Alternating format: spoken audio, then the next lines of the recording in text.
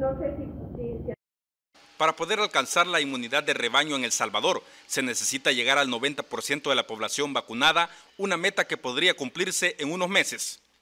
Eh, sigue avanzando la estrategia de vacunación. Uno de los datos importantes que tenemos que recalcar es que eh, estamos alcanzando ya lo, casi el 60% de la vacunación de dosis completas en el territorio. Eso es eh, impresionante que El Salvador lo esté alcanzando. Definitivamente un dato muy, muy alto en comparación con los otros países.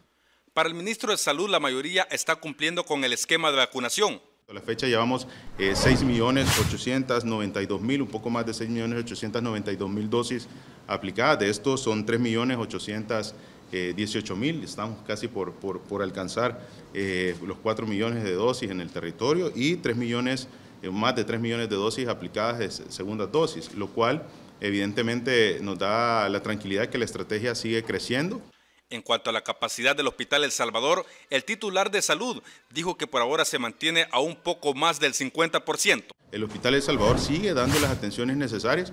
Evidentemente ha incrementado la cantidad de ingresos. No es lo mismo tener una cantidad de 300 pacientes, ahora estar superando los 600 pacientes dentro de, las instalaciones. Eh, evidentemente él tiene la capacidad para poder seguir brindando eh, atenciones ante el COVID-19 el ministro de Salud pidió a la población que mantenga las medidas de bioseguridad para evitar contagiarse de este mortal virus.